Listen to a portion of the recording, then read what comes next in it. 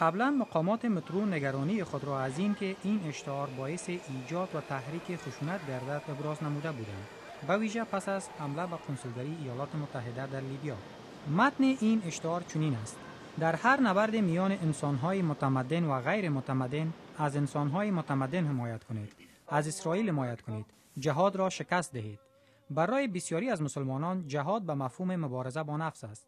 اما بعضی از این پدیده دینی به عنوان بهانه برای توجیه خشونت استفاده می کنند. تا کنون اکثرت کسانی که این آگاهی را دیدند آن را محکوم نمودند. تعصب، نفرت و سازمان دهندگان آن را نیز محکوم کردند.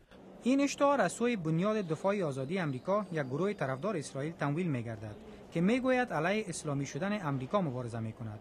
دو سازمان مدنی ایالات متحده این گروه را در لیست گروه های نفرت انگیز قرار داده است. این گروه برنده یک دعوای حقوقی مشابه در نیویورک نیز شد که در پی آن اعلانات این گروه در ایستگاه های متروی آن شهر نصب شد. یکی از مسئولین این گروه می گوید اتفاقات اخیر نباید مانع نشر این اشتهار شود. هیچگاه زمان خوب نیست. اگر موضوع اعلان نباشد موضوع فیلم می باشد اگر موضوع فیلم نباشد موضوع خرسک است. اگر موضوع خرسک نیست موضوع کاریکاتور دنمارک یا سویدن و یا فرانسه پیش میاد پس چه زمانی برای اینکه درباره جهاد آزادانه و با صراحت صحبت کرد؟ مناسب است. مقامات متروی واشنگتن می گوید که اداره تحقیقات فدرال ایالات متحده احتمال خشونت پس از نشر این اعلان را بررسی می کند. نشر این اعلان در نیویورک خرابکاری های کوچک و محدود را در پی داشت.